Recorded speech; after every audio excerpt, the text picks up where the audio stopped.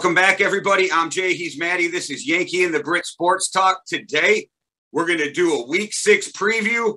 But first, Maddie, let them know what you got going on in Travel Story Society. Okay, so I bet the regular viewers are a bit sick of hearing it now, but I mean, just go listen to it and then you'll you'll understand what the hype's about. The new season of the Travel Story Society podcast is coming out next week. So go check that out. It's a www.travelstorysociety.com. It's basically a podcast where we get on uh, people who like to travel around the world, or it's a lot of people from the States who just travel around the States uh, this season as well. We've got some great adventure travelers coming up. So, Between the Mountains podcast talking about terrifying stunts on mountains and all of that kind of stuff. We also have uh, National Geographic's travel book of the year author Monisha Rajesh, uh, who's gonna who's gonna be on this season as well, uh, and that's coming out next week. So that's uh, www.travelstorysociety.com forward slash. All right, guys. All right, guys. Make sure you go check out Travel Story Society. It's a good time. On to Monday night's game. We're going to review that real quick. Man, Maddie, that was a good game. Overtime. Um, here's what blew me away about this weekend. Carson Wentz went 25 of 35, 402 yards for two touchdowns and lost. Okay. Just to show the quarterback play this weekend on off another game, Baker Mayfield, 305, two touchdowns, zero interceptions, 42 points, first time with a loss in NFL history. Isn't isn't that the second time that or the third time that Baker's lost having put 40 points up on the board or something like it's that. the first time in NFL history that a team has scored 42 points and lost without a turnover. right. Okay. But then I, th- I think Baker's lost like it might be over 35 points or something, but he's lost three times. Right. Over 35 points. It's really strange. And then you have Lamar Jackson, who only threw six incompletions. Lamar Jackson, let that sit in. 37 for 43, 442 yards passing, 62 yards rushing, four touchdowns for a grand total of 505. He's just incredible. He's just lightning in a bottle. He's just a fantastic quarterback.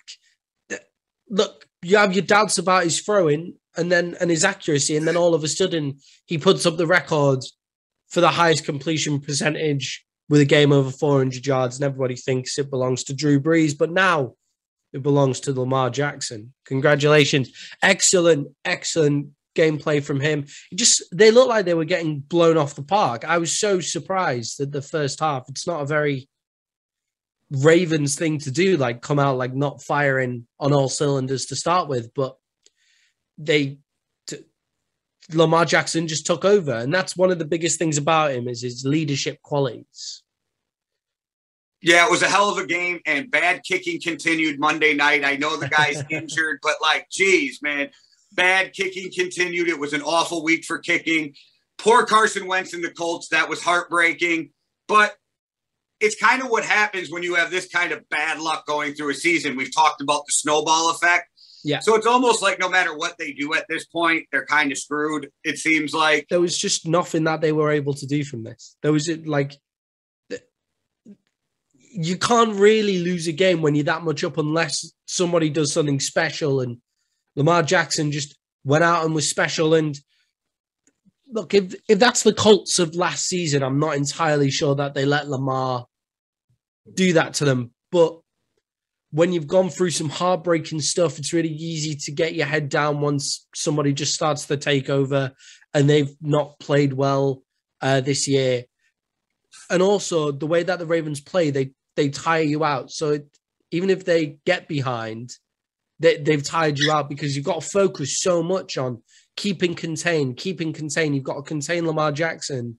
You focus so much on that. It's mentally and physically draining and then he can just go crazy on you. And that's exactly what he did. Uh, the Ravens are looking more and more scary as the weeks go on. Yeah, it was a great game. I was up watching that, thinking, man, Maddie's sleeping through a good one, but he'll get to watch it in the morning. I watched on the way to school in the morning. Don't you worry, I got it.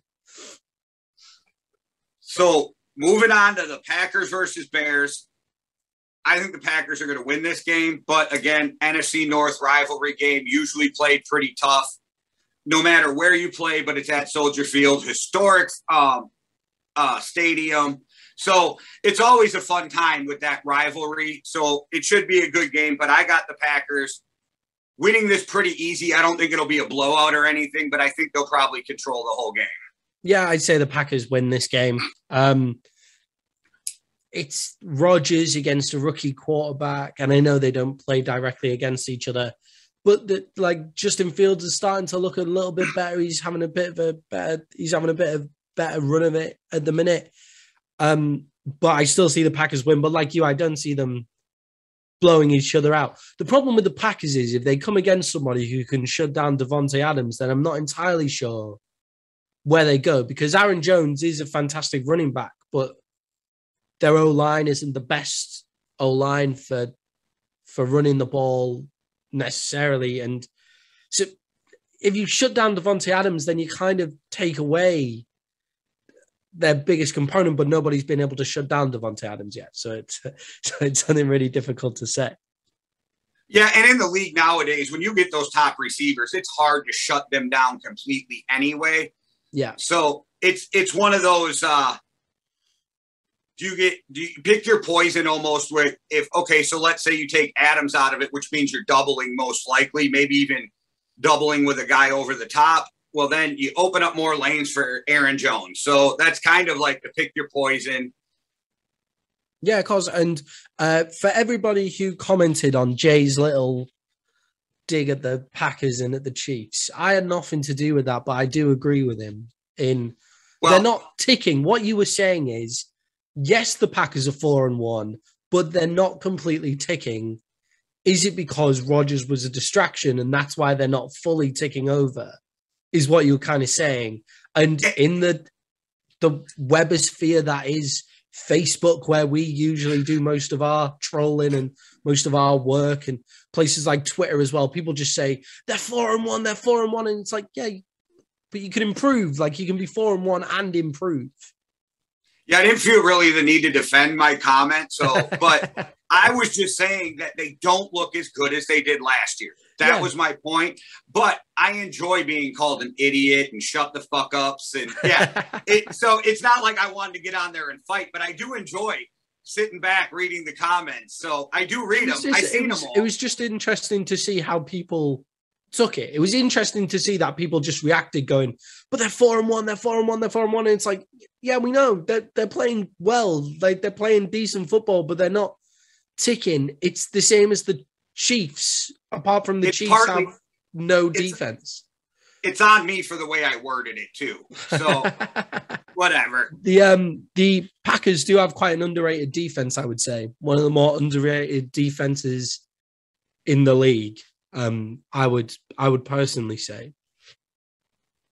Yeah, I think that uh their biggest weakness is corner. And um it hurts when your best corner, who's one of the top corners in the league, is out too. Never helps. Yeah. But again, we've always said Rodgers can make up for a multitude of sins on the team. So I was just pointing out that, yeah, they're winning, but they're not looking like they did last year to me. That was the point I was getting at, and I stand by that. Yeah. And the Bears need to put more weapons around Justin Field, and then like that's that's the main reason that with it's going to be difficult to pick the Bears in a lot of games because you need to score points to win games, especially against teams like the Packers. So, and you know me, I blame Pace and Nagy for the Bears. I absolutely blame the GM and the coach for where they're at because again, you're wasting that defense by not having an offense yeah. with a coach and, who's supposed to be an offensive guru because he used to sit next to Andy Reid. Yeah, and you don't need to have that many. You don't need to have that many weapons in Chicago because your defense is good. I personally think Justin Fields is an absolute stud, and I think he will be a really good quarterback in this league. You just need to let Justin Fields play his game, which is running about and ad libbing and being an athlete and just being a grown dude, and then put a few more weapons around him. But I, I don't see them winning this game. But it won't be by a lot. And if Matt Crosby misses as many kicks as he did last week, then uh, maybe that's it. But Yeah, I don't think that'll happen again either. I, I think, think, these kickers have a short memory, so I don't think it'll affect him this week either. so Vikings Panthers. Um, I think a big thing with this game is which or both running backs play. Do either. If neither running backs play again, then I think Minnesota's got a stronger running game with Mattison in the backfield. Now, if they both play, they're both two of the top with McCaffrey and Cook in the league for running backs. I think that's a big thing on what happens in this game. Does McCaffrey play? Does Cook play? I'm not 100% sure on McCaffrey. It does look like Cook will play. So I'm not sure. Um, I'm always going to pick the Vikings. I think these two teams are probably more evenly matched than people think. It should probably be a good game. I think where the Vikings may have a little edge in the offense is even with Stephon Gilmore. If you can shut down Justin Jefferson, which we just talked about, hard to shut a dude completely down, but they still have Thielen and KJ Osborne's coming yeah. on. But if Sam Darnold plays like the first couple weeks, it's a lot harder. If he plays like last week, it becomes a lot easier. But I think they're pretty evenly matched, and it should be a good game. I've actually got the uh, Panthers winning this game. I actually really. Like I knew the that.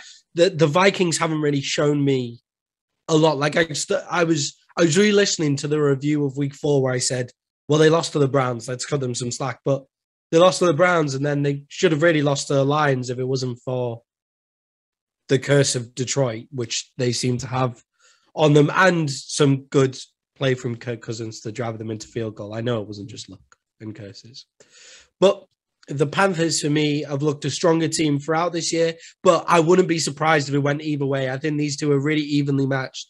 If Christian McCaffrey trots out for the Panthers, which I will be surprised if he does, but if he does, I think the Panthers definitely win, but it's still not by a lot. But I, I'll be, I I do think Cook will play because what they seem to be doing is trying resting Cook for the games that they know they should win, and then bring him out for the closer ones. Personally, uh, this is a closer one. I'd sit him again this week because then you have a buy and it gives him three weeks to rest up. But the way Cook sounded is he's saying that he's 80, 90% and wants to get back out there. And you really, if the guy is truly 80, 90%, he's better than what you have behind him at 80%. And that's not the shit on Mattison because he's been playing well, but you're not Dalvin Cook, my man. Yeah, but why not just stick Cook out with the buy as well? Then you're more likely to stick him out there because if he's eight or ninety, then you've got the buy, so he's got a full week off after this game. And I get that. I'm looking one. at five years of his contract, not yeah. just this year. So I get it, though. I get it. Yeah, the, the, the the thing with that is is though Zimmer's trying to save his job, so he's gonna. Yeah, absolutely. um, I would pick the Panthers because you know I like Sam Darnold. You know I like the way that they play on defense. I, I was a bit upset with them for the way they played against the Eagles last week, and I think they'll bounce back from that. And and they've just the Vikings just haven't shown me their ability to do anything. That's the thing about Sam Darnold is that will you bounce back or do you revert. So oh, that's what I'm, I'm actually waiting to see because for me, this is kind of a litmus test on we have an opposite opinion, and not that this will be the be end or, or the beginning and the end of the whole conversation, but today can like or this weekend can quiet one of us a little bit. Yeah, definitely. Definitely. Yeah. If he throws five picks against the Vikings, I'm willing to say, all right, he's not as good as I thought. I'm not willing to say that he'll never be good.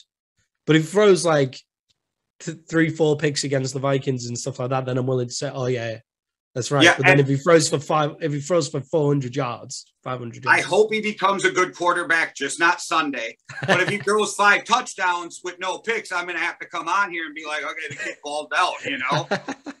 so Bengals Lions. And I got to tell you guys, this is my upset pick of the week. Three, two, one. I got the Lions winning a close one at home. Dan Campbell's going to run the ball, keep the clock or work the clock. And I don't think Joe Burrow is 100%. So I think this is their game. They steal it. And the Bengals have played so many close emotional games. At some point, it's got to wear on you. I do think that the Bengals will find the Lions as a difficult matchup, but the Lions just haven't shown an ability to close games. I agree. At all. So I feel like, and Joe Burrow's shown an ability when he's not 100, like he wasn't 100% last week. and should have won the game. Like he should have, like he closed out that game effectively if McPherson doesn't hit the flag. But like he's a, they're just a terrible matchup because the Cincinnati Bengals refuse to protect Joe Burrow. They just refuse to protect him, and the Detroit Lions are priding themselves at the minute of trying to rip everybody's head off. So, uh, chewing like, off kneecaps. yeah, they are, and that's the, that's who they embody. And I think uh, the Bengals can be run on a little bit as well. And I don't think it's a, that like the Bengals are a more talented outfit. They're a more talented roster. They have a better quarterback. They have better weapons at wide receiver. Mixon's as good a running back as Swift in the league. As much as I love Swift, and their defense is starting to do some bits as well, but their offensive line worries me. So they should win, but I wouldn't be surprised if it's an upset. It would be one of my bets of the week uh, that the Lions like cover the spread, that, that kind of thing. All right, on to your Cowboys, Maddie, and I'll make this simple and then just get out of your way. Um, I think it's a close game until the third or until the fourth quarter. Then I think the Cowboys pull away and win it. But I think I think Bill Belichick figures out a way to keep it close for three quarters. Sounds like a Cowboys game this season. That sounds like what the Cowboys have been doing all all season. I, Mac Jones has thrown a pick in each of his last five games, and so oh no, in each of his last three games, and he's thrown five picks. And Trevon Diggs has six on the season. Trevon Diggs has more picks than 27 teams this season so far. Uh, so far this year, so I can see Trevon Diggs getting a pick. If anybody's wanting to bet on uh, who'll get a pick. I imagine you won't get great odds for it, but I reckon our defense will create a few takeaways. I reckon we can put pressure on Mac Jones, and he. I hate comparing him to Tom Brady because it's so unfair on the kid, but this is comparing him to Tom Brady in a bad way where if you get in his face, he will break down because he's not mobile. So, like, if you just keep on getting in his face, which our pass rush has been able to do, Bill Belichick is one of the best defensive coaches of all time, and I'm sure they'll find a way to make Dak Prescott think twice about a million different things. But Dak Prescott seems to be very calm so far. That year off has actually kind of obviously not helped him in some ways, but it's kind it's it's kind of helped him a little bit in terms of his mental state, as far as I can see. And I just like I like the Cowboys this season. Like I like I like them every season as a Cowboys fan, but this season it feels a little bit different because you can actually justify why you like them. You can actually name every single position where they have somebody on the pitch. And Brown, as much as I see him as the weak link, was able to improve, even though I do think he'll get targeted against New England. But we're strong in the places where New England is strong, and they're weak in the places where we were. they don't really have a lot of wide receiver game. And Keanu Neal will have to cover some tight ends at the um, out of the backfield. He'll have to find his way to covering uh, Hunter Henry and and Kazee as well.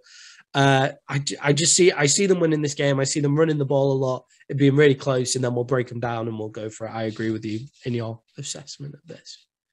So for gamblers, I would say go look at the odds if they're good. Pick the opposite prop bet that Diggs does not get a pick only because he's got to miss a game sooner or later. Eh, so sooner or later, that prop bet's going to hit, and you might get some really good odds. It's not they won't, throw it; they'll eventually stop throwing it anywhere near him. Right, and so sooner. Hopefully, later, that's not this stop. week. Like, right. hopefully, it's not this week, but they will eventually stop throwing it anywhere near him, just because we can only cover one half of the field. So, like, you know, this week might be the week you want him to stop because I think you win if he gets a turnover or not. Where there's going to be some weeks you need him to get a turnover to win. yeah, that's that's that's definitely true. Our schedule is our ske- that this period of the schedule. If you took our preseason stuff, looks horrible. But if you take how every team's played so far this season, it's a really nice run to the end of it.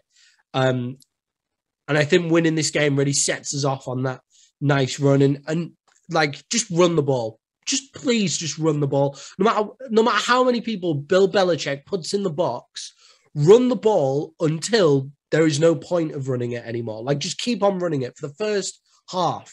And then if you don't get anything, come out and run it again for the third quarter and then just throw two wide receivers after. But just please just run the ball, like to start with. Don't get drawn into Belichick making you want to throw it.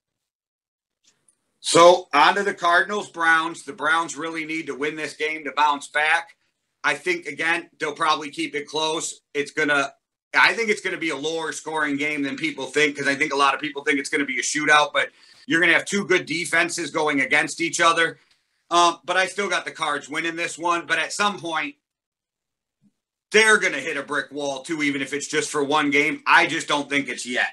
I think it's too big running teams as well. It's not like last week where the Chargers can just throw it on you so many ways. So you have to go score 42 points if you can't stop uh, to even try and get close to them if you can't stop them. Whereas these two are more than happy plodding their way down the field with the run game, although they can. The, the Cardinals can hit the deep ball. Baker Mayfield needs to start throwing to Odell Beckham. Like Odell Beckham was wide open for a lot of last game, and he just like yeah, he, he had a few drops, but it's, it's his first week back. So I know obviously you can't complain about their offense too much. They scored 42 points, but this week they've got to take every opportunity because the way that the cards are playing, they're taking every single opportunity at the minute. Um, I think the Browns will have a bounce back game, but I am picking the Cardinals, but I'm picking it in a really close one, really fun game, but not as crazy as 42 47. A fun game at maybe 30 28 or something. Well, it seems like both of us feel the same way on that game. But the Chargers Ravens, we'll see how you feel because I know you're a big Justin Herbert fan. I like him too. But the Ravens are on an unprecedented four game home stretch, which is unprecedented in the NFL. These guys get to sit at home for like almost six weeks before they have to travel. It's going to be a good, comfortable time for them. And I think they're just going to keep getting better, and Lamar is amazing. And I just think he's too much for the Chargers. Yeah, I'm picking the Ravens as well, just because this is a horrible matchup for the Chargers. This is their like, in terms of a matchup nightmare, like this is not what they want. Like it's, and I mean, I was surprised that they managed to be the Browns with the fact that the Chargers can get run on. They can get run on a lot of the time, but the defense in Baltimore, as much as they're a bit more injured and don't have as much star power as the defense in the Browns, they play a style of football that'll confuse Herbert a bit more, I think, than the Browns just man coverage, stick Myles Garrett off the edge and go from there. But the the Browns, uh, the Ravens play a much much more complex defense, and they have people flying about everywhere. And as good as the Chargers O line has been, the Ravens defensive front is quite scary, and it's a terrible matchup for the Chargers. I've got the Ravens winning this one. I imagine if it was in LA, I'd be more convinced to go the other way around, but the fact that it's in their stadium as well means the matchup's even worse. Well, here's the question I got for you for the next game, which is our Thursday night game. It's Tampa Eagles, better Thursday night game than like teams. Who knows how the game will be than we've been getting. But you're at, I think you're playing the second worst team in the NFC um, East against one of the top three teams in the NFC. I don't think there's a big question on what's going to happen. The Bucs win this game. That's it. The the so the Tampa Bay Buccaneers have like the Eagles have shown that their defense isn't really that strong at all the Panthers were just a bit off it. Sam Darnold was off it last week. Um, they the, the, the Eagles do have a defense, uh, do have an offense, but the Bucs have had Richard Sherman for one more week. He's a bit more in the system now, and Richard Sherman's come out and said, "I've never been on a team where." There's so many champions, so many Pro Bowlers, so many Hall of Famers, so many people who play like champions straight off. And you know that he's just fit, slotted straight into that team, and they're starting to rebuild their secondary. Their pass rush is crazy. I can't see them losing that game.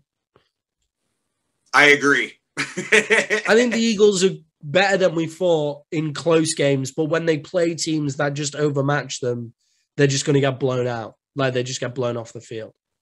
All right. Well, moving on to our next game. And to quote the guy who got a lot of hate this last weekend, your boy from the UK, H, take me back to London. So, shout out to Ed Sheeran, I guess, too. Um, Dolphins, Jaguars. Now, for me, when the schedule came out, I was like, ooh, this is a game that the Jaguars can win. They're almost London's team. They're used to traveling. Well, I no longer think that they're not. They're looking awful. The Urban Meyer thing's got the whole franchise turned upside down, I believe. And so I got the Dolphins winning this game on pretty much the Jags home turf. I'm terrified of Urban Urban Meyer going wild in my capital city. That scares me shitless. Americans when they travel around the world just saying they kind of own the shit. So when Urban Meyer comes over here, and he clearly can't control himself, I'm terrified. He's gonna paint London red, man. What the fuck?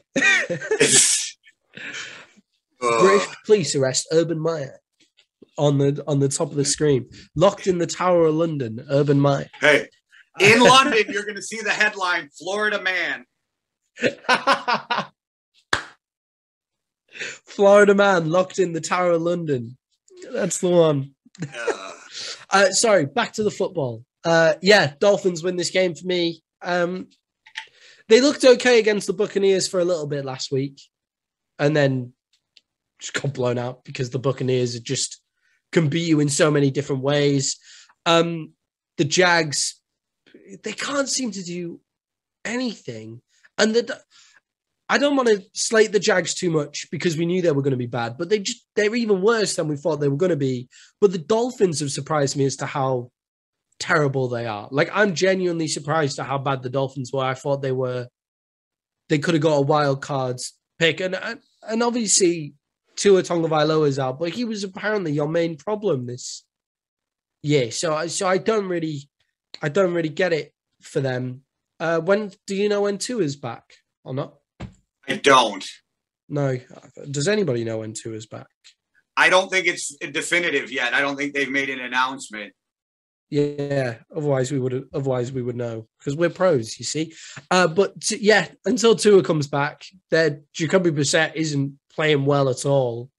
He's a professional around the locker room, like we've spoken about, but he's not playing any good game at all. And but they're luckily running into the Jags, who are not very good either. Trevor Lawrence might put have a good game, I guess. Can we have some good games in London, please? Please. Obviously It's not. horrific. It's horrific. Horrific. Anyway, should we move on?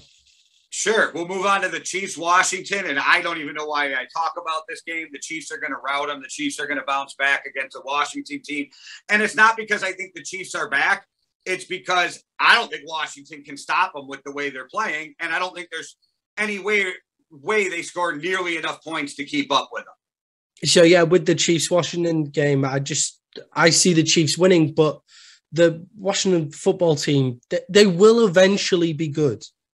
They will eventually come good because their defense should be good, but it's it's not. Like, why is it not playing all right? This was one of the games where I had down the, about the Chiefs losing at the start of the season before we realized how bad the Chiefs defense was, and before we realized how the football team's defense isn't playing right either, and their quarterback's called Taylor Heinicke, and Taylor Heinicke's good, like he's fine, he's he's playing well considering, but he he's not going to win you loads and loads of games in this league, and it's a, it's not a shame for me. Like I'm pretty happy with it because they were meant to be the people that would challenge in the uh, challenge in the uh, Cowboys, but I don't understand why their defense has dropped off so much because you would think with their defensive line against what could have been the Chiefs O line, then this was a time for them to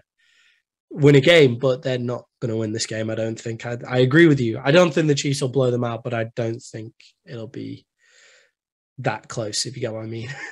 Yeah, the only theory I have is maybe this F- FBI investigation is more of a distraction than people think because everything coming out, even on Gruden right now, is coming out of Washington and that investigation. So maybe that's a big problem behind the scenes. Maybe some coaches or players are distracted. I don't know. But I agree with you. Defense isn't living up to what we thought they would be. But on to a game where I think another NFC East team is in trouble. Rams, Giants. I don't even think this is close. I think the Giants are in a bad spot. They got nailed with the injury bug, and the Rams just look good. Yeah, with the injuries, they're not going to win this game, and that's that's the top and tail of it. Their defense doesn't have any injuries, and the Cowboys scored forty points against them last week. So the good part of the team isn't that good. And then they're injured to like completely ruined on the other side of the ball. And even if Daniel Jones comes out and plays, and I'm not sure whether he's playing or whether he's not, but even if he does come out and play, you can't con- you can't recover from that sort of concussion with enough time to practice and enough time to recover properly for the game. Like if he had that sort of concussion in a European sport, like in rugby or something, he wouldn't be playing this week. He'd be out for the next two, three weeks. You're one in four. Just sit the kid. Yeah. Like he's shown, has he not shown you that he's good enough? Has Daniel Jones not shown the New York Giants that he can actually play football if they just put some people that are decent around him? Like he's a good Yeah. player. I think he's got the uh, the bug that a lot of mid level quarterbacks have. They do dumb shit at the worst time, but I think he can play. Yeah, like he has athletic ability. He's able to. He throws a good ball. He's he's a really good prospect at quarterback. Just look after the guy, back the guy.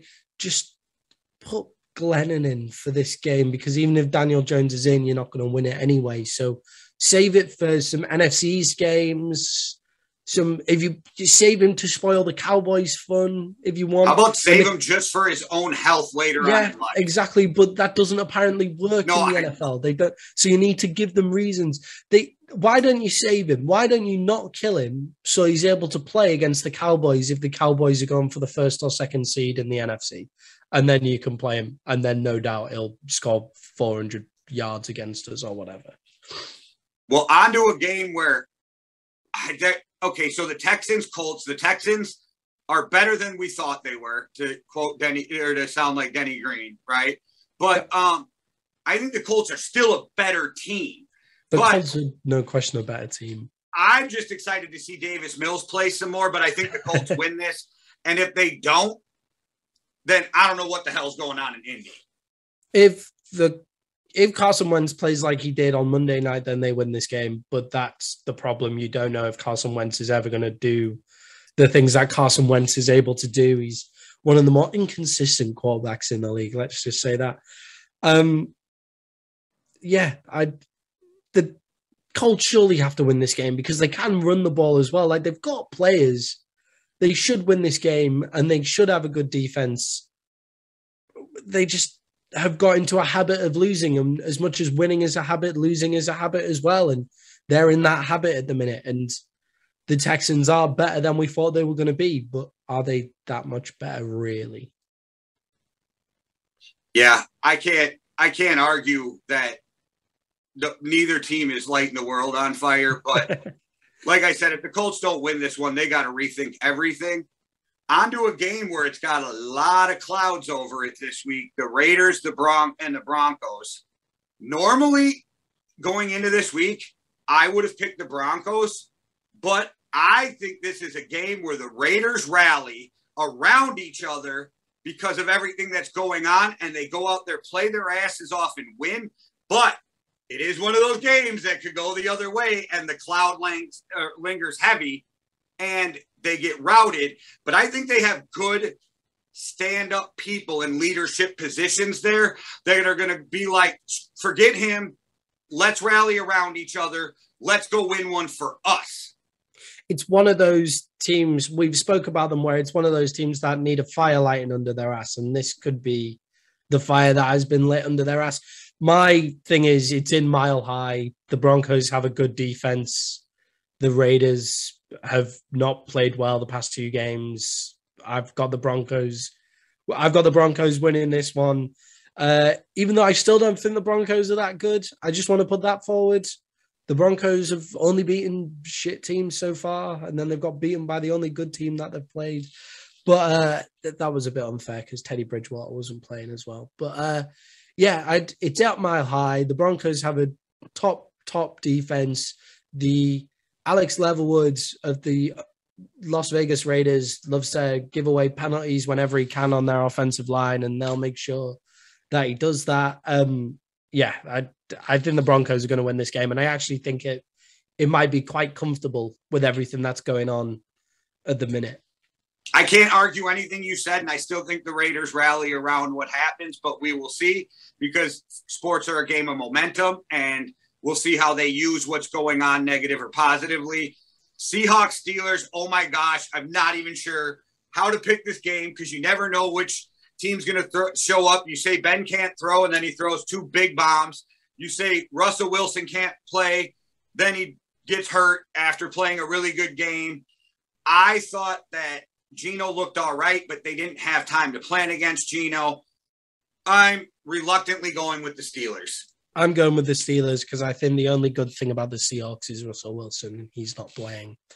Um, so, so I think without Russell Wilson, you could say that this is one of the more underwhelming rosters in the NFL. They have Russell Wilson and they have two fantastic wide receivers.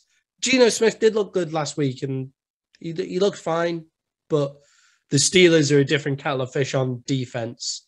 Like they they love to get after you and they'll get after Geno Smith. And as much as and the Steelers are starting to get a bit of a run game behind Najee Harris now. They're starting to actually be able to run the ball. So it's not only on Big Ben, but at the same it's not going to be a barnstorming game by any stretch of the imagination. I don't think. But then it's the Steelers and the Seahawks. It's Pete Carroll versus Mike Tomlin, some fantastic coaches. So maybe they managed to pull a crazy game out the hat. But yeah, the Steelers are going to win this one, I think. But if Russell Wilson was there, then the Seahawks would win it. But Russell Wilson isn't there. So.